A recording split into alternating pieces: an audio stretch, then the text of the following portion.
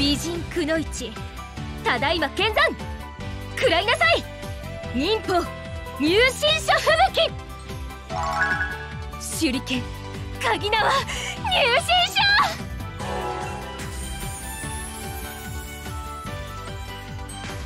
者。忍者ってかっこいいわよね。カズマの故郷にいるらしいけど。会ってみたいな。行くよ。ニンニンなんてね。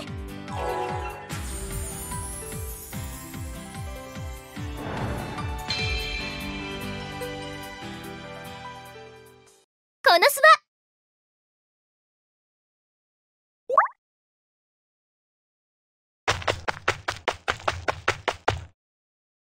修道服よりもこの格好の方が動きやすくてはかどるわね。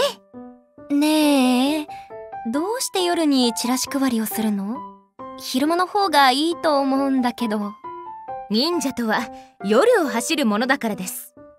カズマさんにその話を聞いた時に明暗を思いつきまして。明るい昼に渡しても断られてしまう。ならば夜に自宅へ入信書をお届けすればいい。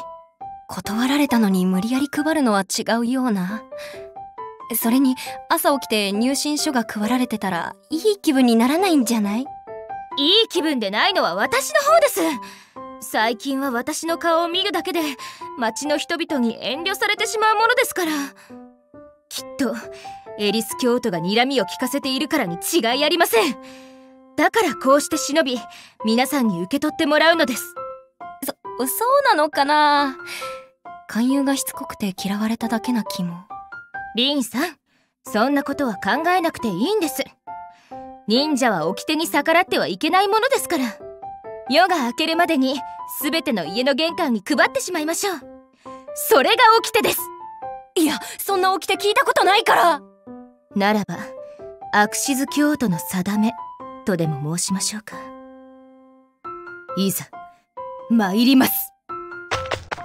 ちょっと私はアクシズ教徒じゃないんだけど。聞いてる？セシリーさん